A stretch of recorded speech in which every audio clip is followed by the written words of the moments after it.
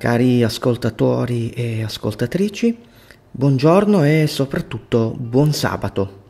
Oggi infatti è sabato 6 febbraio e il salmo che sto per leggervi è il Salmo 66, i versetti da 1 a 4. Fate acclamazioni a Dio, voi tutti abitanti della terra Cantate la gloria del suo nome, rendete gloriosa la sua lode. Dite a Dio come sono tremende le tue opere. Per la grandezza della tua forza i tuoi nemici ti aduleranno. Tutta la terra si prosterà dinanzi a te e a te salmeggerà, salmeggerà al tuo nome. L'autore di questo salmo non ci è conosciuto, non sappiamo chi, chi sia, ma sicuramente abbiamo la certezza che questo è un salmo ispirato dallo Spirito Santo. Questo salmo esprime una grandissima gioia, la gioia dei credenti, la gioia dei redenti. Veramente ci invita a esprimere una grandissima lode con tutto il nostro cuore. Fate acclamazioni a Dio. Più chiaro di così non, non, non, non ci sono modi per poter appunto esprimere questo sentimento di gioia. E l'invito è verso tutti gli abitanti della terra.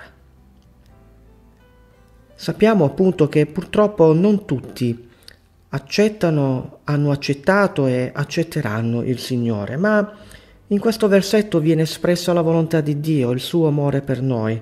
Egli desidera che tutti gli abitanti della terra gioiscano assieme a Lui, perché Lui vorrebbe tanto salvare tutti, ma ci lascia liberi.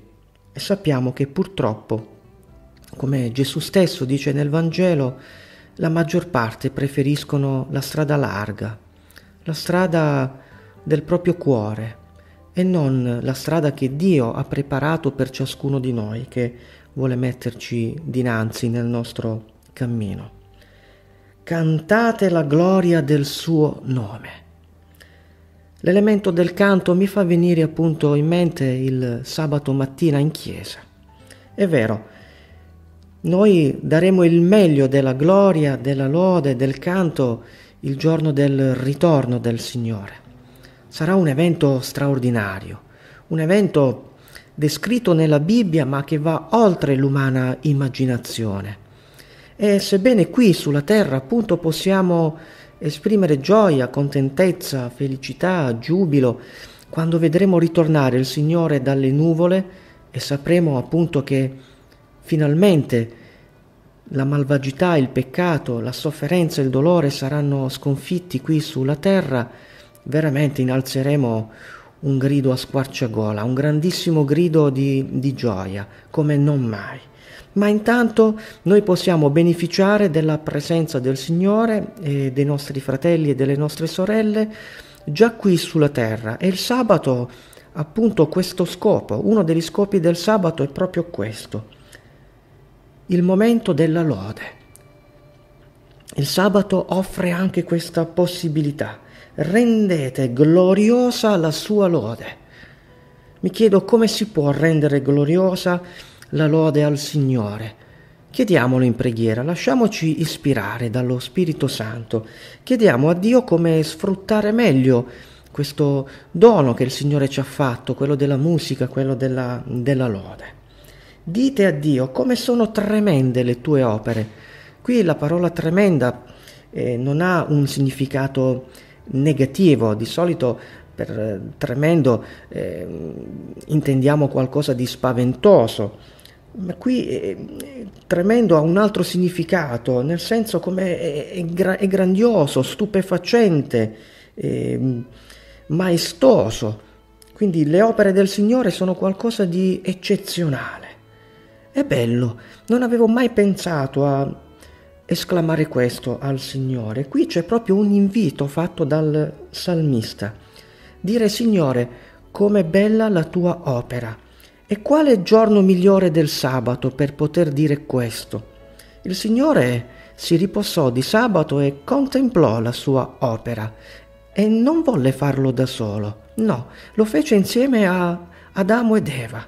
Il sabato può essere ancora oggi un modo per contemplare l'opera del Signore, soprattutto quando ci sono delle belle giornate di primavera, eh, anche di autunno, soprattutto d'estate. Che bello poter trascorrere alcune ore di questa giornata con i nostri fratelli le nostre sorelle all'aria aperta, in mezzo alla natura, per chi ha la possibilità, e contemplare con Dio il creato, che nonostante geme ed è afflitto dal peccato e dalle opere sciagurate dell'uomo che distrugge eh, l'opera magnifica di Dio, ma che ancora oggi essa ci parla e ci mostra non solo la grandezza, ma la bellezza, il buon gusto del nostro Salvatore che allo stesso tempo, oltre ad essere creatore, è veramente uno straordinario artista. Qui dice, per la grandezza della tua forza i tuoi nemici ti aduleranno. Anche i nemici avranno dei complimenti da fare a Dio, ma sono delle adulazioni. L'adulatore è un ipocrita, mette in risalto delle doti buone di una persona, ma non lo fa con animo sincero, lo fa con animo doppio. Ha un altro scopo in mente. Tutta la terra si prostrerà dinanzi a te e a te salmeggerà, salmeggerà al tuo nome. Bene, che questo sia il pensiero per oggi, il pensiero nostro, quello di salmeggiare il nome di Dio. Viviamo questo sabato all'insegna quindi della lode, del, del canto, della gioia, del salmeggiare al nome del Signore in attesa appunto, come vi dicevo prima, del giorno stupendo dove i redenti potranno innalzare al Signore un cantico nuovo, il cantico appunto dei redenti. Che il Signore ci benedica in questa giornata, che il Signore ci aiuti a viverla secondo la sua volontà, che il Signore ci dia una stupenda giornata di sabato. Io auguro a voi tutti un buon sabato vi auguro la pace del Signore e le sue benedizioni. Amen.